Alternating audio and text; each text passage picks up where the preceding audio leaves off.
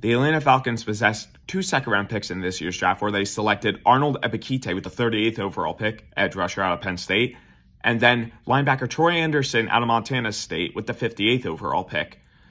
They traded up five spots to draft Ebiketie with the New York Giants as they gave them a second rounder and a fourth rounder in return. The Falcons severely have been lacking pass rushing ever since the 2017 season when they were about middle of the pack, tied 13th in the league. Last year, they were dead last at a paltry 18. So trading up the draft one of the best pass rushers available was definitely a smart move.